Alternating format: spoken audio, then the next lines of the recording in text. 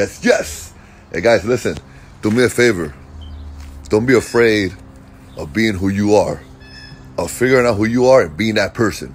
Yes, you should figure out who you are. You should find out who you truly are, who you're truly supposed to be. Yes, you should.